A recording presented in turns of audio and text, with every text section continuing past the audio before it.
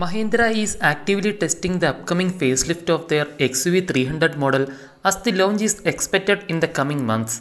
Recent spy shots reveal a closer look at the production ready test model, showcasing several updates. The images highlight the redesigned LED taillights featuring L shaped LED turn indicators, a new rear bumper with horizontal positioned reflectors, and a bumper mounted number plate with chrome inserts. Additionally, the vehicle sports new dual tone alloy wheels. The facelifted XUV 300 will also come with rear wiper and washer setup, an integrated spoiler with high mounted stop lamp, roof rails, and a conventional antenna. The tailgate has undergone modifications complementing the previously leaked changes to the front fascia. The most prominent alteration in the front features new LED headlamps and DRLs similar to that of XUV 700.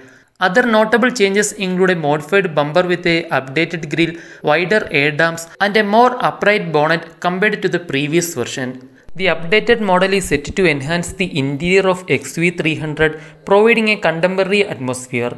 Expected notable changes are a revamped floating touchscreen infotainment system, redesigned center console and air conditioning vents, a digital instrument cluster, refreshed upholstery, and additional features. Engine and transmission options are expected to remain unchanged from the current model.